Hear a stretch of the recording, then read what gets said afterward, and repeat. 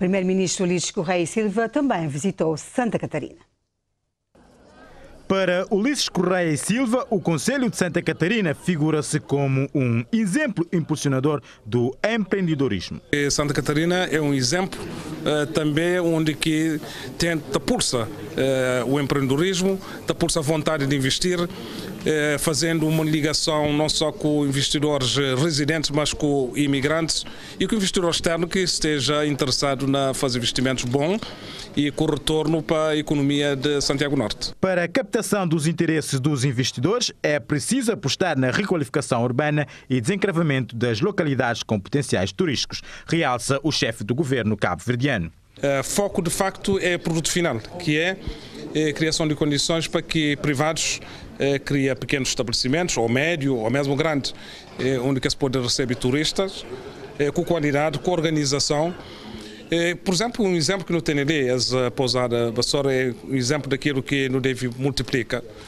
Num conceito de projetos piloto, que está a criar redes de oferta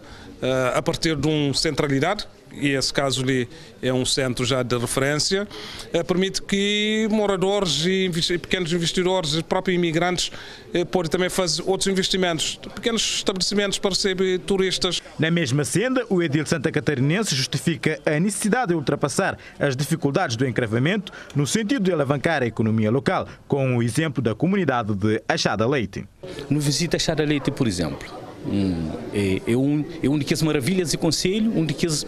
das localidades mais lindíssimas de Conselho, mas se calhar pessoas de Santa Catarina que conhecem que conhecem o lugar, que te aproveita, que te, que te, que te tra proveito de dias, dias maravilha porque